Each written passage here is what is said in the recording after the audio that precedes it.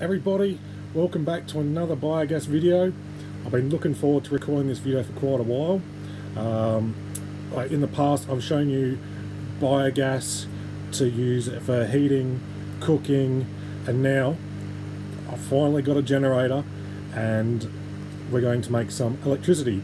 So the idea of this is you can use your gas through the generator to power appliances or in my case that I want to use it to charge a battery bank. So say if your solar, you know, it's cloudy and you've got your biogas sitting there in a tank or just in a bag and you've got a pump, you can use it into the generator to power up your battery bank.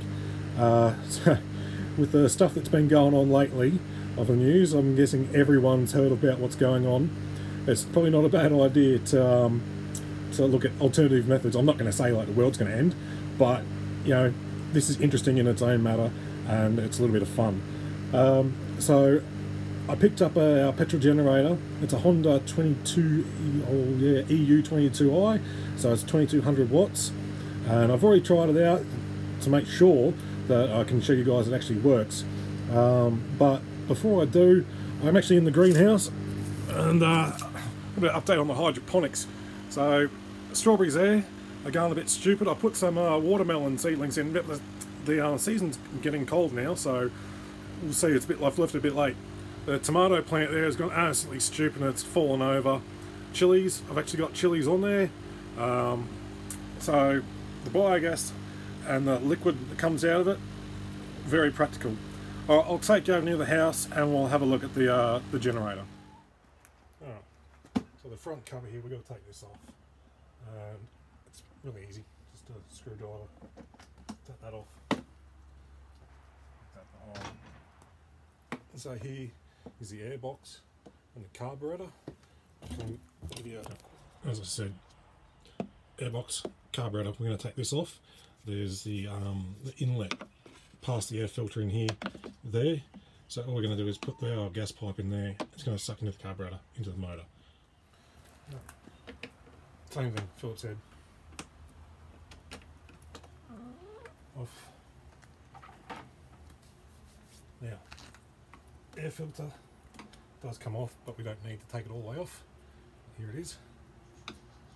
There, well, I'll leave it off for now. Okay, so you can actually buy conversion kits for this and the previous model. Um, so what it is, it's a manifold. take this off, and a manifold goes into there. There's a gas pipe. You just drill a hole in the front cover, and you hook the gas tank up from the front.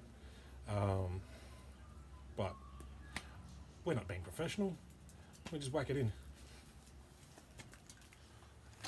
So before I start, I'll just explain what I'm going to do because it's going to get loud and I'm not going to talk over it. So this here, at the moment, the fuel's off. I'll turn this on. Now let the fuel, I can already hear it, the fuel's coming down. So what I'll do is I'll start it then I will turn the fuel off, let it die down. I've got my gas tank here, show you the hose.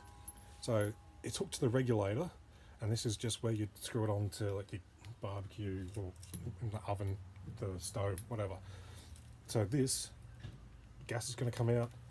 I'll put it in this hole in the airbox here, and it's going to start sucking the gas through the carburetor and into the motor. So the idea is uh, carburetor turns petrol into a vapor, airborne vapor, and that ignites. This is already vapor gas, so it bypasses the need for a carburetor anyway. So, said, I'll do this. I'll warm it up and probably take a few pulls, uh, turn the gas, uh, the fuel off, and then it'll just like going blah blah blah blah blah, and then I'll back this in. Now, I said it's it's a bit touchy at the tank I would like a valve down here so I don't have to adjust the tank all the time, but um, you'll hear the revs change anyway when I start messing around with it. I'll get it up to op optimal um, revs, and on the side here I'll show you that there's actually a green light that says you're generating power, you're at the desired limit. Alright, so I'll get this started. Don't need that there.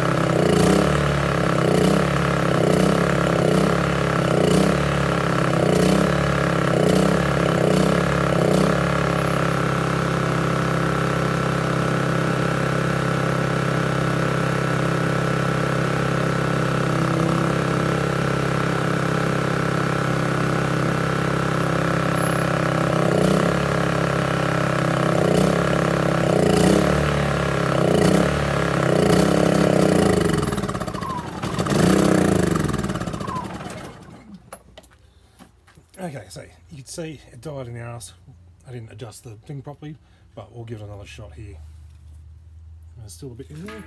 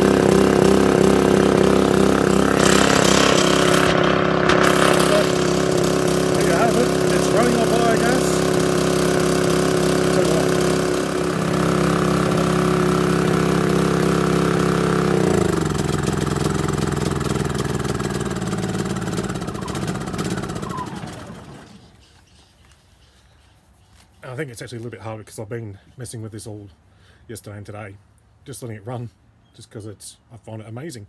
Uh, so the gas tank's probably running a little bit low too, but there you have it. Uh, so with this, if you're charging a battery bank. All you do is make a battery charger in the AC socket, hook it to your battery bank, charge. Um, so I tried this with some lights, fans, runs fine.